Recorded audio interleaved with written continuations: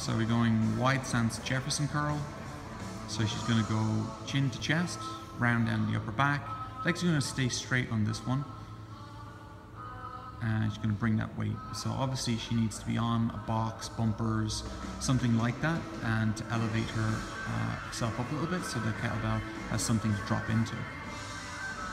And then she slowly peel her way back up again, lower back, mid back, upper back, head and chest. And the next one she's going to do, go and do it with bent knees.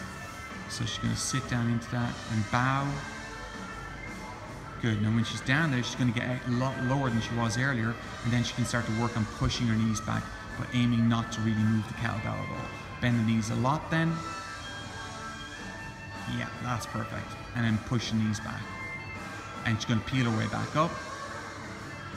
And then just do one where you're holding the kettlebell into your chest a bit more. So let's pretend that uh, you didn't have the boxes to stand on. So if you stand on the floor just for a second, that's it. So let's say, for example, you didn't have boxes and you want to do the same thing. If you walk forwards there a little bit and now bow forwards with wide stance, work your way down again. So same deal. And then she's going to bring it into her chest. Yes, that's exactly it.